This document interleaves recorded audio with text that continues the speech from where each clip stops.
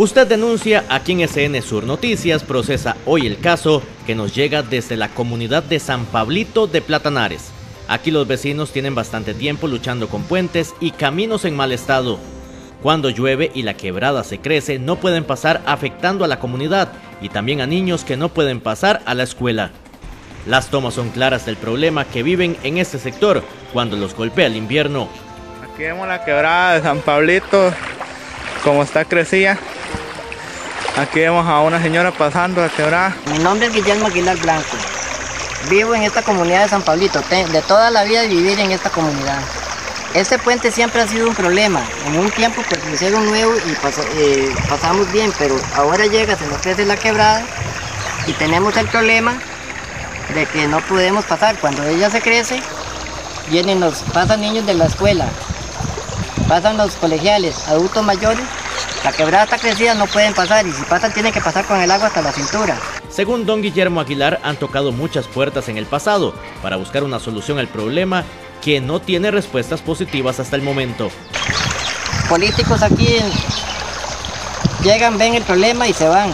Traemos alcaldesas, cuando están en política vienen, ven el problema, dicen, les vamos a ayudar y tampoco hacen nada por este pueblo. Así es que por favor les pedimos que nos ayuden, porque esto está demasiado duro para pasar. Esta quebrada, aquí vemos, ahí se ve la escuela, los niños son los que más sufren cuando no pueden pasar para asistir al centro educativo, como lo deja muy claro la maestra de la comunidad de San Pablito.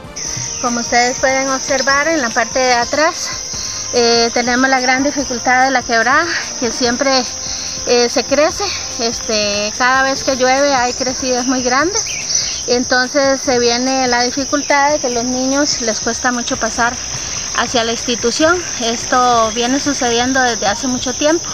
Aquí donde estamos parados este, casi siempre se llena, casi siempre hay llenas y tenemos muchos, muchos problemas a la hora de ingresar a la institución. Tanto el puente pequeño como el más grande tienen problemas que preocupan a todos estos vecinos que nos enviaron esta denuncia desde San Pablito de Platanares. Sí, aquí ustedes también pueden ver este camino. Cuando la quebrada se crece, este camino, el agua corre por todo el camino.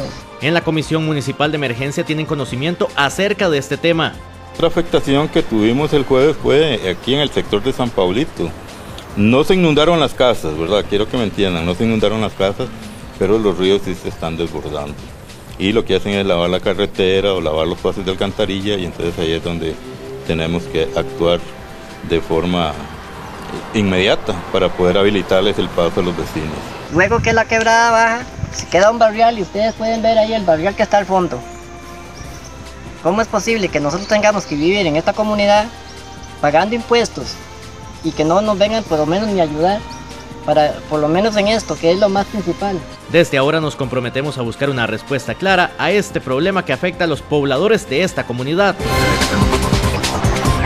Sus denuncias las esperamos al correo electrónico prensa.tvsur.co.cr y al teléfono 2772-1414.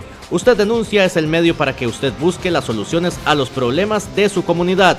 Aquí en SN Sur Noticias, el próximo jueves, otro caso.